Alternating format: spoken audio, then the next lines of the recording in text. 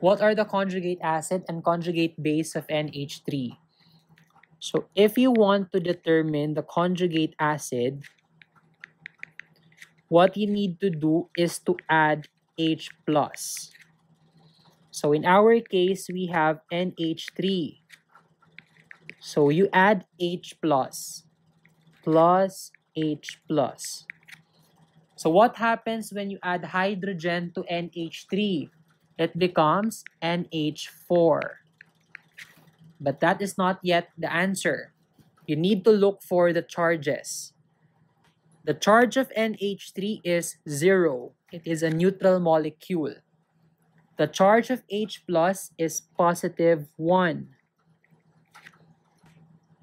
So 0 plus positive 1, that is equal to positive 1. So the charge of NH4 is positive 1 or simply NH4 plus. This one is your conjugate acid.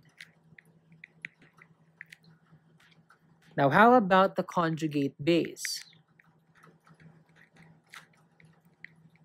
We do the opposite. We remove H plus or we take away H plus. So we have NH3, you take away H plus, so minus H plus.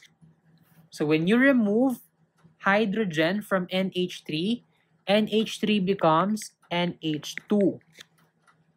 Again, this is not yet the final answer. We need to look for the charges. The charge of NH3 is 0. The charge of H plus is positive 1. So 0 minus positive 1, since you take away H plus, is equal to negative 1.